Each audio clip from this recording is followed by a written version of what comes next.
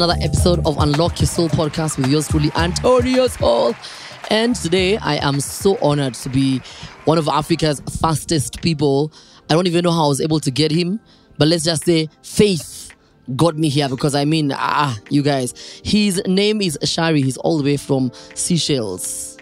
At least now I know someone from Se- Seychelles. And his second name is Dodo. Shall we do eh? Do that? Dode. Yeah. Dode. Okay, you need to put your love your mic, please. Do- Dode. Do that, yeah. Dode. Okay, so let's start off. For anyone who's watching, who is Sharry? Who are you? Yeah, um, I'm Sharry there from Seychelles. Um, I run for Seychelles, and I'm 25 years old. You run 100 meters, Yeah, 102. 100 and, and, And and 200, 200. yeah. Okay, so why are you in Kenya? I mean, someone would ask. I mean, don't don't you want to run in Seychelles? Like, why are you always running in Kenya? Every time I see you, you're here. Or are you married here? Maybe you have a secret family. Why are you always in Kenya? Well, um, before I was uh, training in London, Yeah. and then I stopped. So in Seychelles, there's uh, no like good facilities for training and stuff. Yeah. And I got the opportunity to train here with uh, Team Fedi. Yeah. So this is why I'm here to get ready for my season, like get ready for the games, upcoming games. Yeah. yeah.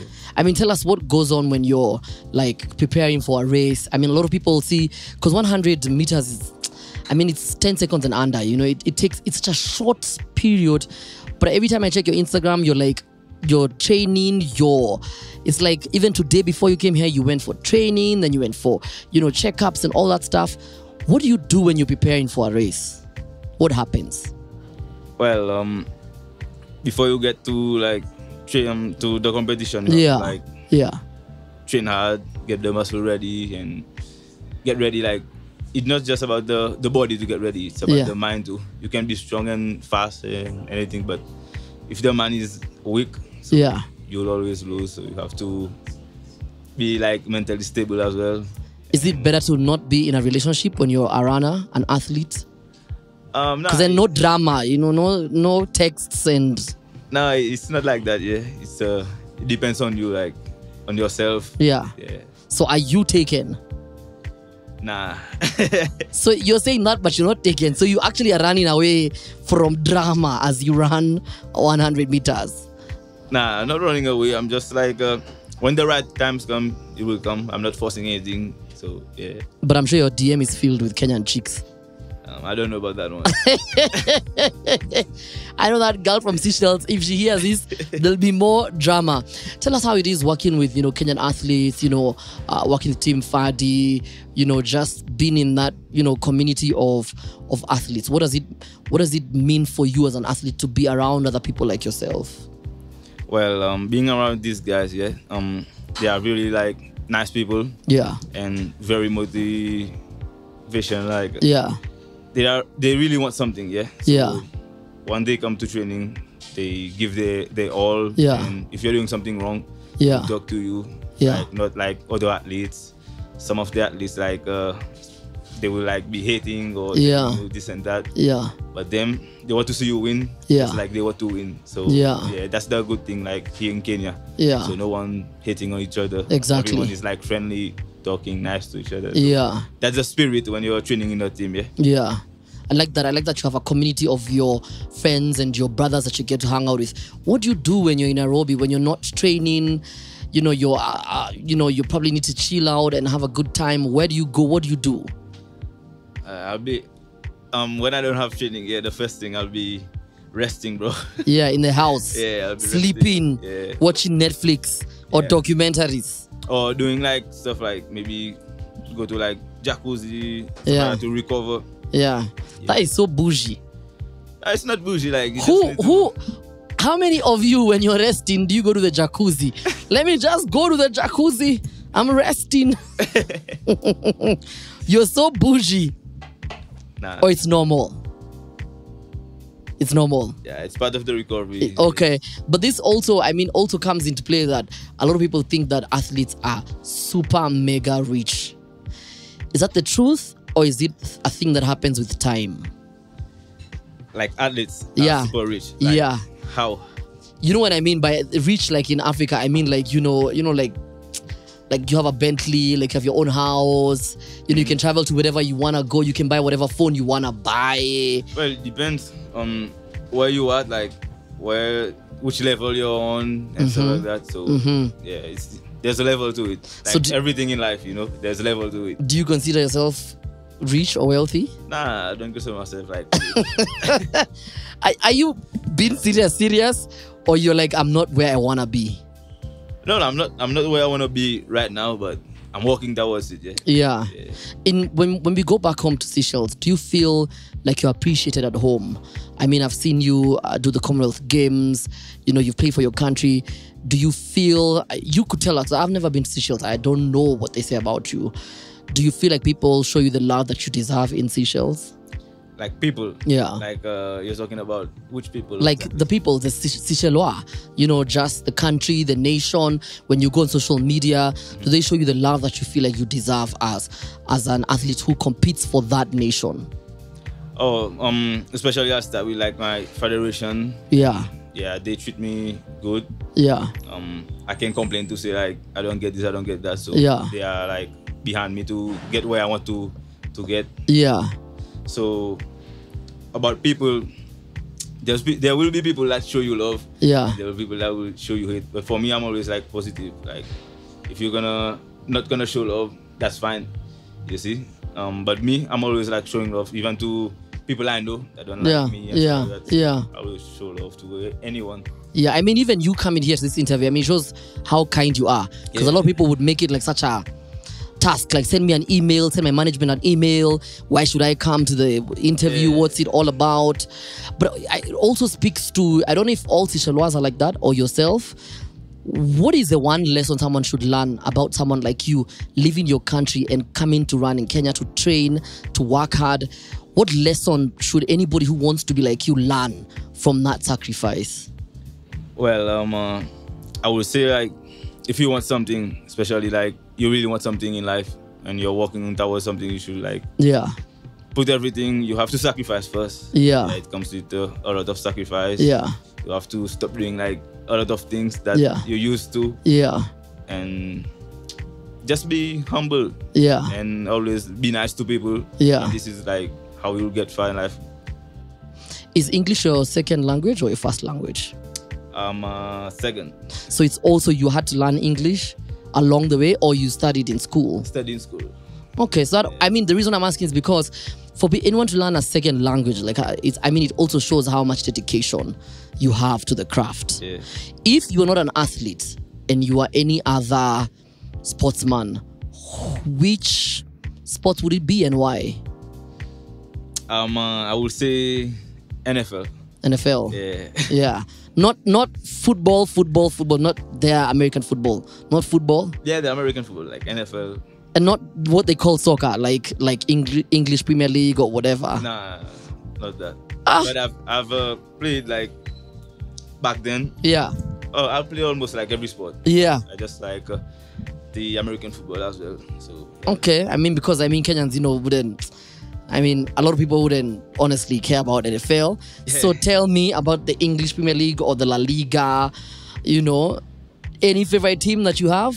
uh, Manu. Man Yeah, I was so worried if you're gonna say Arsenal. I was like, oh my god, the interview is over, guys. I do not want to interview those people on top of the table because they're always talking nonsense. And tell us about your family. You know how many people, how many siblings you are in your family.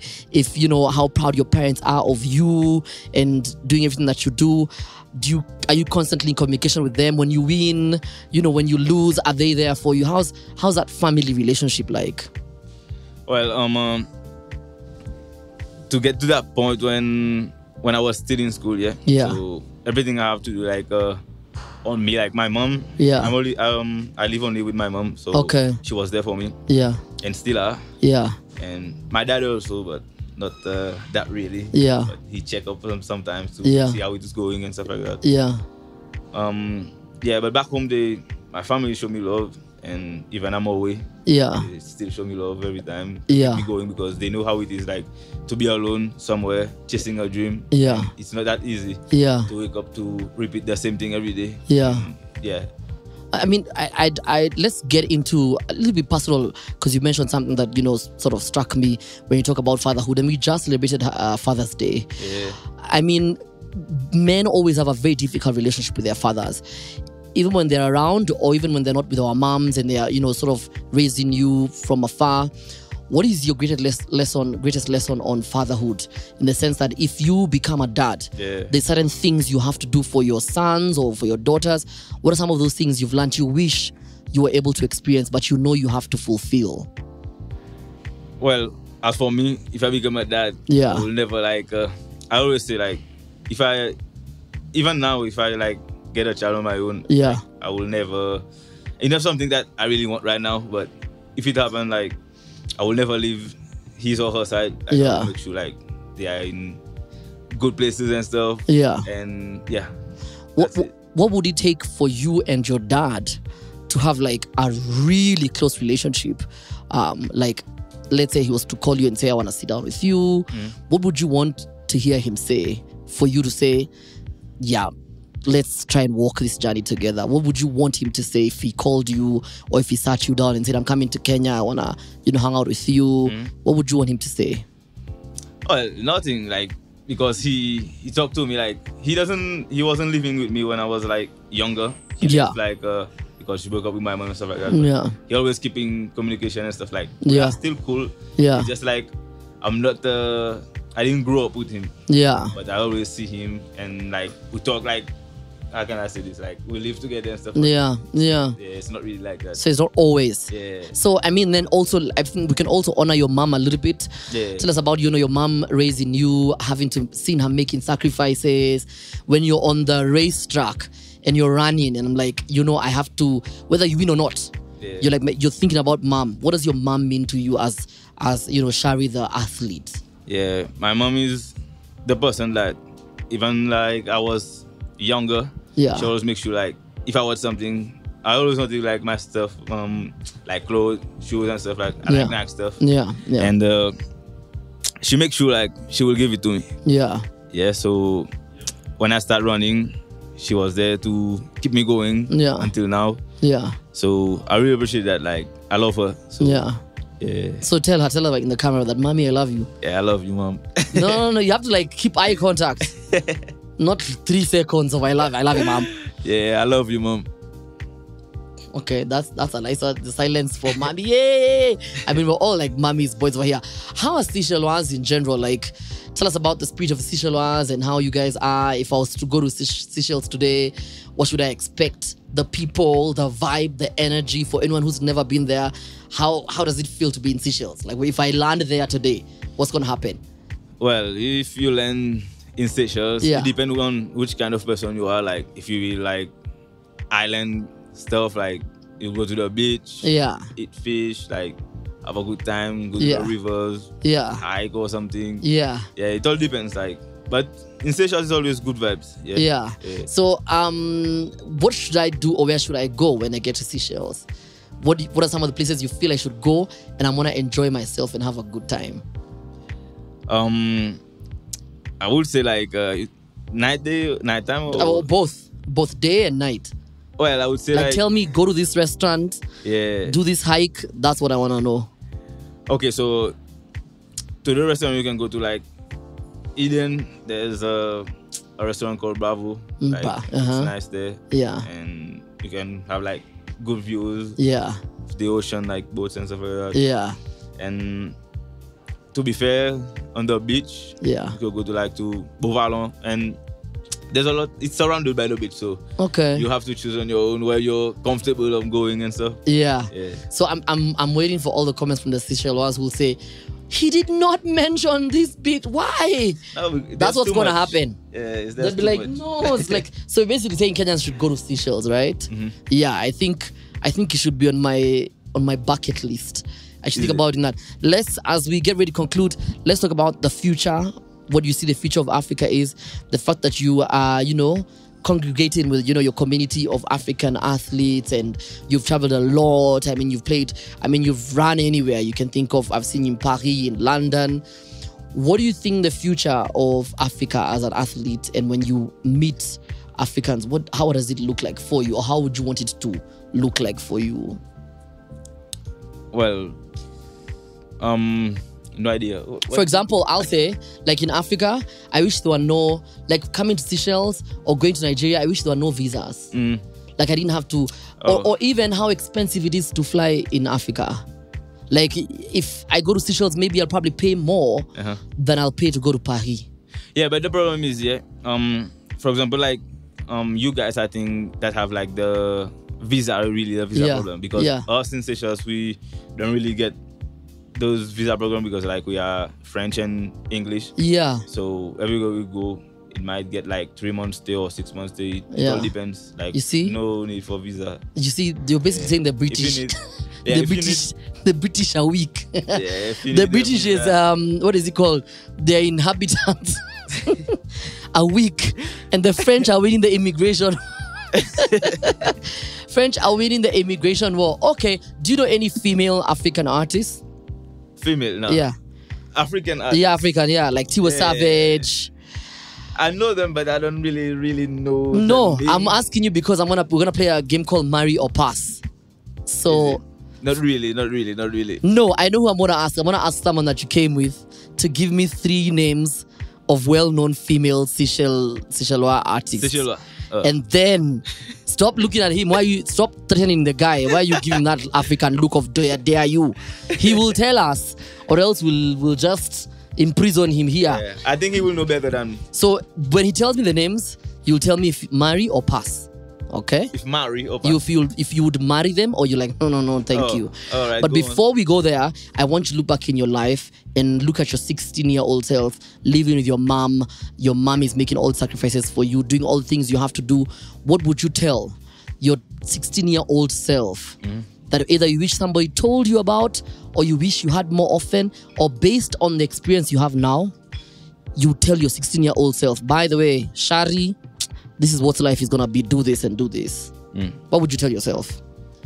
well, I wouldn't really like uh, have to tell myself anything because like uh, the things that happen for the in the past is it happened for a reason. You know, Mhm. like you learn from everything. I think Yeah. it's a good thing Yeah. that everything that happens. So Yeah. today you know where you are and what you will do. You Yeah. won't be doing the same thing every day. Yeah, the yeah. same mistake or Yeah, anything. yeah. So yeah, that's So uh, live in the moment. Yeah. Nothing to regret about. Yeah, I don't have anything to regret in in my life. I can say. Okay. Yeah. Okay, I like that.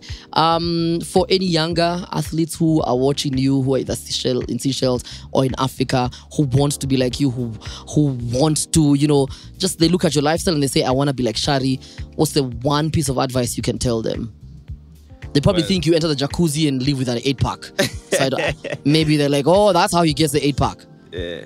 So I will tell them like, uh, like I said before, if you if you're willing to chase your dream or do something in life like you want to achieve, so you have to you have to work hard. And the first thing is like discipline. Yeah. And uh, sacrifice. Yeah. Yeah. That's I, the- I love that. Okay, so it's time for us to play Marry or Pass. Are you ready to play Marry or Yeah, Pass? Go on, Okay, so your friend, what's the name of your friend? Janosh. Ch- Chanosh. Yeah. Chanosh. Please move, move like this. I want to see him. So give me three names of. Uh, don't look at him. You you can't look at No, him. Uh, it's a very African thing. You're you, you're threatening the guy. So I need you to. Why? Don't look at this guy. Don't look at me. Give me th- first name of a very beautiful Seychellois artist. They're all beautiful. Okay, give me give me three. Number one.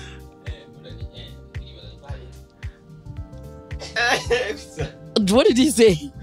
I, I feel like he's no, I feel like he's asking you if you should say give me one female artist name. no, oh but I don't have a deal with it. Pass, yeah. Pokole. You don't know. Pakone. You just said in English that you can't see, you don't know. He said no, no, the the, he just female no, artist. I feel like you told him, dare you.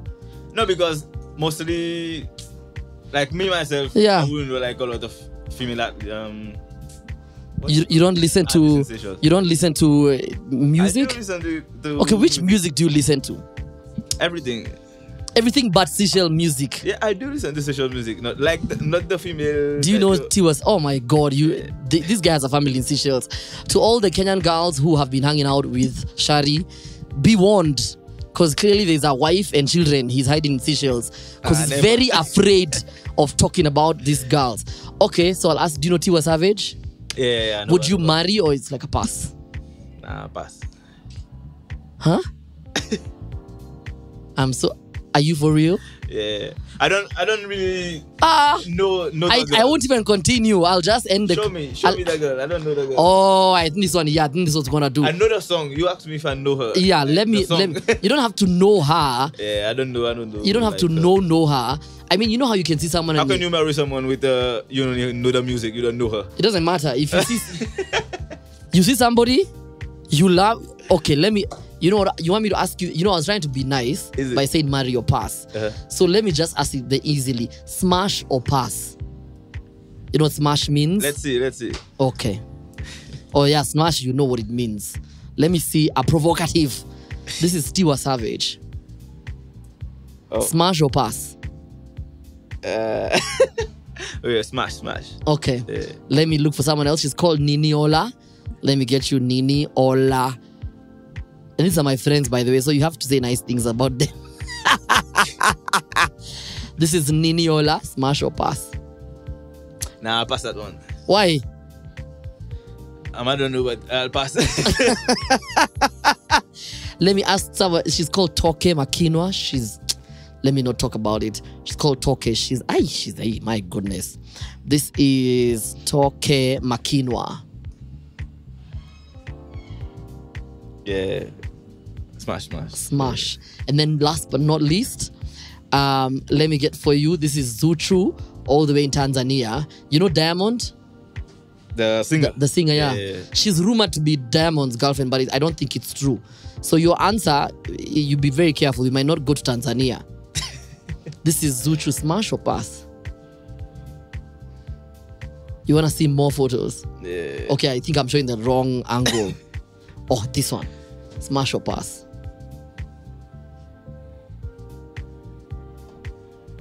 Ah, pass, pass, pass. maybe because I say Tanzania, yeah, he's now you can go to Tanzania. Thank you so much, Sharry, for making time for us. Thank you for you know just coming through. And why is your friend here? What's his name again? Janosh. Is he also an athlete? Yeah, Okay, what does he do? Is, does he run or? yeah, hundred. Okay, please, please, please come and join us here. Yeah, don't say you don't know English because now, but you're saying in English I don't know English. No, just come and join us here. And then I am going to ask you guys something about the two of you. So just sit here, sit next to me. What is the one thing about him that annoys you the most? I don't know. no, this guy's kind, man. He's kind. Yeah. What is the one thing about him that annoys you? ah, nothing. It's nothing. You guys, We're always cool. these guys are just too nice. You're too nice that is a lie. I can just No, it's true. Like, there's nothing. Uh, if it will be like someone else Yeah. that annoy me, Yeah. I will tell you the truth. I'm always Yeah. like telling people the truth. So Okay. There's nothing. Okay, what is the one thing about him that you like? Eh, always encouraging you, man. Always encouraging. Yeah. Okay. With money or with what? Eh? No, like not no money or anything like No money. no money. Just no. words. Just words. Yeah, yeah. Go do this, you will achieve it. Stuff Yeah. like that. Yeah. Yeah. I, I think you need to start encouraging more with money. Is it? That that is yeah. yeah, I do. I do. There's so many maybe words. Forget. There's so many words you can say. Anyway, this is Anto Neosoul, Unlock Your Soul podcast. I've been with Sharry all the way from Seychelles. Thank you for making time for us.